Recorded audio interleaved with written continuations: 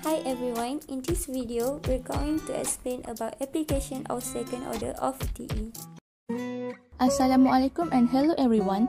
We are from group 3 and we choose question 8 for our assignment.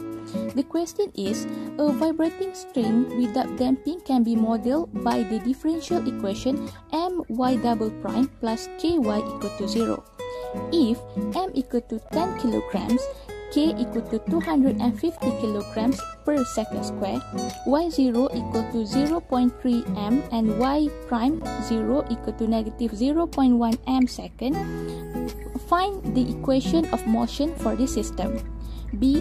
When the equation of motion is of the form displayed in A, the motion is said to be oscillatory with frequency beta over 2 pi. Find the frequency of the oscillating of the spring system of part A. For the introduction, simple harmonic motion or free undamped motion is a motion that is not affected by any forces such as air resistance, friction, and gravity. The motion is only affected by the spring and the mass attached to the spring. However, there may be an initial velocity upward and downward that will affect the starting motion. In physics, simple harmonic motion was represented by Hooke's law where stated that as repetitive movement back and forth through an equilibrium or central position so that the maximum displacement on one side of this position is equal to the maximum displacement on the other side. The time interval of each complete vibration is the same. The force responsible for the motion is always directed toward the equilibrium position and is directly proportional to the distance from it. That is F equal to negative kx, where F is the force, x is the displacement, and k stands for constant. In this case, the second order of differential equation need to be applied in order to find the exact equation for the simple harmonic system. The purpose of this assignment is to find the equation of the motion for the system and the frequency of the oscillation. Coming up next, methodology. So, to solve this case study, we need to use three methods which are differentiation, substitution, and finding roots. Differentiation is a method that enables us to find rates of change. Substitution is a method of solving by substitution, roots by solving one of the equation for one of the variables and then plugging this back into the other equation, substituting for the chosen variable and solving for the other. And the last one, finding roots. Finding roots by using quadratic equation is used when the roots are irrational numbers. So for differentiation, given y equal to a cos 5x plus b sin 5x. If we differentiate cos, it will become negative sine and sine will become cos. So since it is respect to x, uh, we will multiply it by 5. Next, for substitution, x equal to 9 and the equation is x plus 2y equal to 12. So just substitute 9 into the into the equation x plus 2y equal to 12 then you will get y equal to 3 over 2 and the last one is finding roots where we use the equation x equal to negative b plus minus square root of b square minus 4ac over 2a where the a, b, c we got from the quadratic equation ax squared plus bx plus c equal to 0. And we will get either real roots, rational roots, or not real roots. So manual calculation.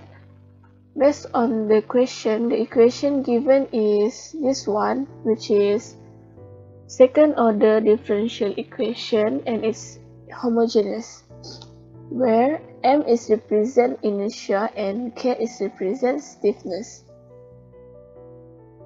In this question, the case is undamped free vibration where B, which is damping, is equal to 0 and Ft is equal to 0.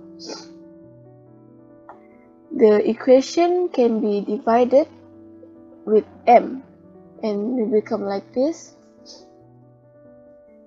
and then we change k over m become omega square where omega is equal to square root k over m.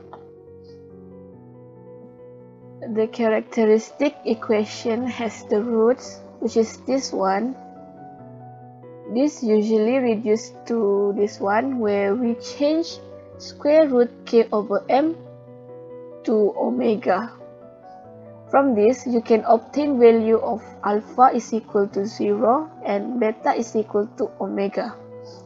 The general equation for this case is this one, which is yt is equal to a cos omega t plus b sine omega t.